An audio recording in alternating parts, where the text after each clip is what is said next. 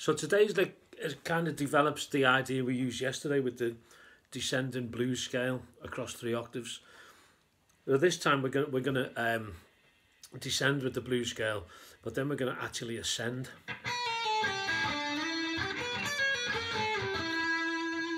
So um,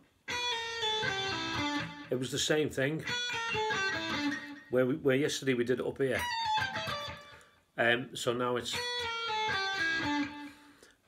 seven, six, five, B, B flat, A on the E string, eight, five, G, E on the B string, seventh on the on the G.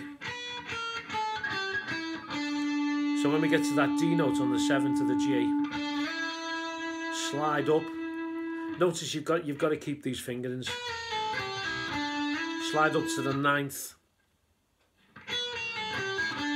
The ninth on the G where that E note is. And then you've got this E minor triad. And then go to the 10th on the on the E, the D note. And play D, C sharp, B. That's 10, 9, 7 on the E.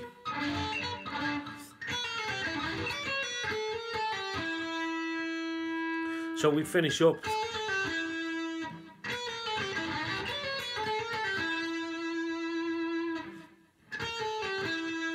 B flat A G E. B flat A G. 11 10 8 on the B. 9th on the G with that E note.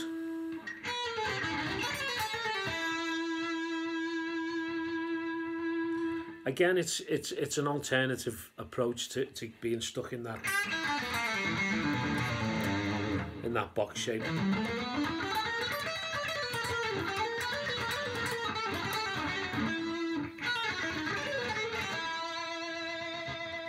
can take that further so I, I generally use the approach that um, uh, if we start with that box one shape I find I, I tend to use mostly only the top the top three strings. So um, rather than thinking that big box shape, um, I just think in, in smaller chunks on the on the top three strings.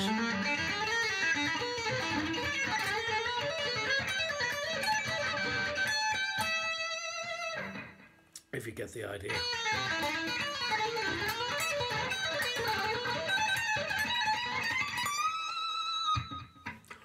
Anyway, I'm going off on a tangent.